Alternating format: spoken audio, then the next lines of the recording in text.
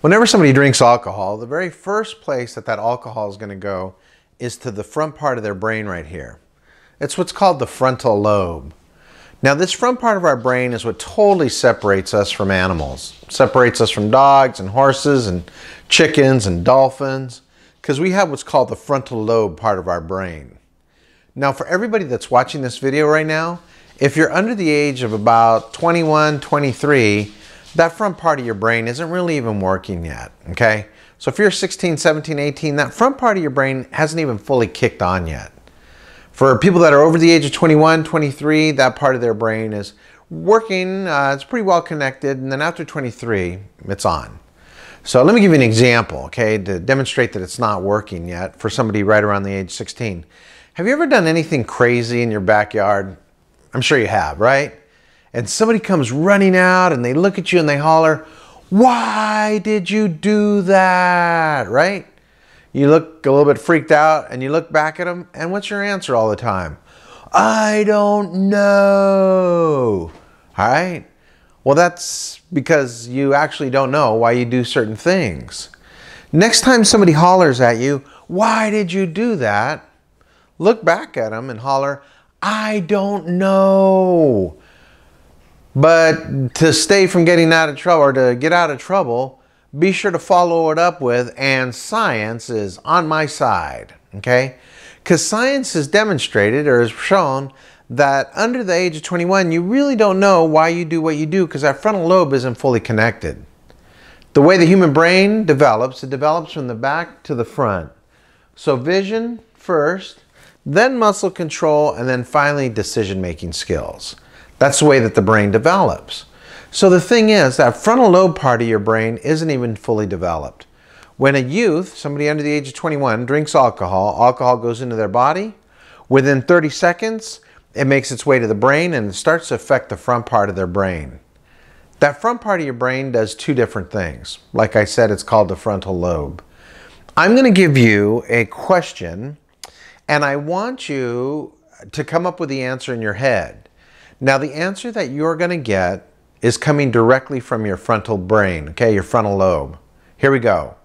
The question is cottage cheese ice cream, good or gross? Gross, right? Yeah. Now, let me ask you this Did you need to taste cottage cheese ice cream to know it was going to be gross? No. What your brain did is it took the flavor of cottage cheese and it took the flavor of ice cream, it put it together, and it said gross. I don't like that.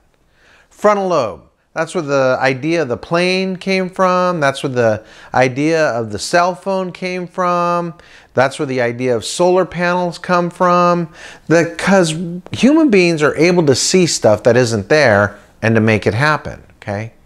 Front part of our brain does two really important things. One of the things that it does is it helps us to predict the future. Dun, dun, dun. That's right predict the future. We all have the ability to predict the future at times, okay? Here we go. Not like lottery ticket numbers or stuff like that, but let me give you an example, okay? Let's say I'm wearing a uh, bathing suit and tennis shoes, okay? Don't picture that in your frontal lobe. But bathing suit and tennis shoes, that's all I have on. I'm standing on this really big hill. On the right side of me is a shopping cart. On the left side of me is uh, my best friend. And I look at my best friend and I say, hey, I want to ride down this hill as quickly as I possibly can in this shopping cart. My best friend's like, okay. So me and my tennis shoes and bathing suit, we get in this shopping cart. My best friend grabs this shopping cart and he goes, one, two, three. I'm sorry, it's my best friend. More than likely, it's going to be like uno, dos, tres, and he pushes the shopping cart. All right. Now picture that in your frontal lobe. I am flying down this hill in tennis shoes and a bathing suit in a shopping cart, and I'm going like 35 miles an hour. I got the wind blowing through the hair of my head, hair on my arms, hair on my back. So I'm an old man now, and I am flying down this hill. I'm going 35 miles an hour in this shopping cart, flying down this hill. I look up. When I look up, I have tears coming out of my eyes. Okay? And when I open my eyes, I look and I see that there is a garbage truck parked in the bike lane. All right, get ready. Frontal lobe answer. If I do not stop my shopping cart, I will crash, right? Or die. What that was right there is you use the front part of your brain, frontal lobe, to predict the future in that situation. All right? Example number two. Uh, let's say you're walking home uh, from school or someplace. You have your backpack on. You uh, go into like one of those convenience stores, and your friend kind of looks around, and they tell you to steal candy bar. Now, if you steal that candy bar, the front part of your brain is going to predict the future, more than likely what's going to happen. Right, you're going to get in trouble. Let me give you another example. Let's say that um, Let's say 2 o'clock in the morning, you're laying in bed. Cell phone vibrates a little bit. You pick it up. It's your best friend. You just got a text. You're kind of sleepy and you look at it and it says, sneak out of your house. I'm in your driveway. You're like, yeah, cool. You go to the window. You're like, hi. I see you. Smiley face, ice cream cone, fox head, thumbs up, send. Right? But you don't want to sneak out of your house. Okay. What's happening right there is the front part of your brain is telling you, man, you don't want to get in trouble. Okay? So the thing that's happening is that frontal lobe part of your brain is helping you to predict the future. Let me give you another real simple example. Okay? Let's say there's this big, huge dude. He weighs 320 pounds. He can bench press his own weight, so the dude's a giant muscle, okay? Like me. Just kidding.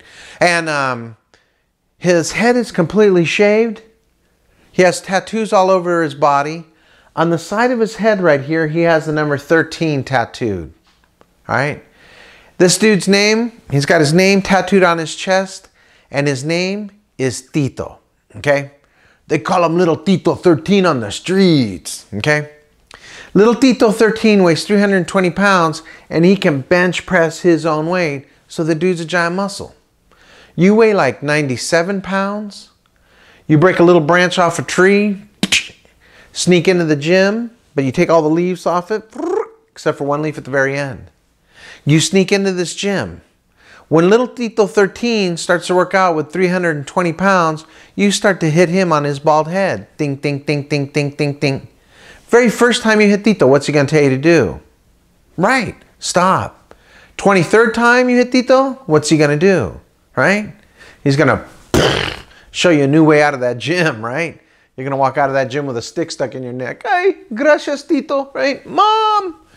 But what you did right there is you predicted the future. Now, for somebody under the age of 21, all it takes is one and a half to three beers within the course of an hour, and you lose that ability to be able to predict the future. You lose the ability to be able to tell when things are going to happen. There's a term called beer muscles. This is where people feel strong. This is where the small guy feels like he can pick the fight with the big guy. That's because that front part of his brain isn't working. You lose the ability to predict the future. Let's say you have a stoplight right here, okay? And you have a drunk driver. What happens is the light is yellow, then it changes red, but because he cannot predict the future and his brain can't process that information fast enough, he has a tendency to go through that stop sign, and that's where accidents happen. I hear people all the time tell me, oh man, I'd rather be in a car where somebody's stoned than drunk. I'll tell you what, the research that's coming out now, here's what happens. You have a stop sign, and you have people that smoke weed that stop way back here, as opposed to where the light is. The other thing that they're finding out with marijuana is people who smoke weed have a tendency to stare at stuff for long periods of time, which isn't good when you're driving and you see something cute and shiny on the side of the road and you continue to stare at it. So the very first part of your brain that's going to get affected when you drink alcohol is this front part right here called the frontal lobe that helps you with the ability to predict the future.